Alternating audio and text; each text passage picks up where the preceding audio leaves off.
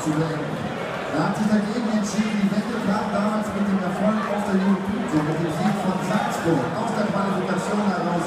Inzwischen wieder unter den Top 20 der Welt, die aktuelle 17 und bekannt als der schnellste Werfer auf dem Planeten Erde. Herzlich willkommen, Vincent van